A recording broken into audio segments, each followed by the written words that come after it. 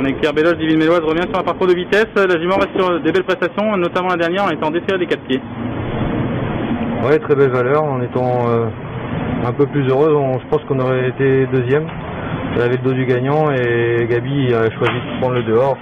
Chose euh, normale parce que le cheval devant lui euh, n'avait pas de, de champ. Et on a perdu du temps. Euh, Jument fait une belle ligne droite, ça court très bien. Comment a-t-elle récupéré A priori, très bien.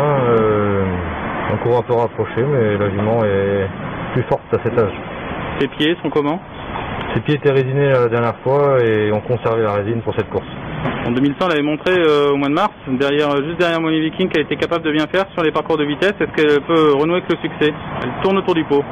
Oui, elle tourne autour du pot. euh, avec un bon parcours, oui, elle peut renouer avec le succès. euh, elle doit à nouveau être dans le quintet. Elle sera à nouveau résignée de ce fait? Exactement, oui.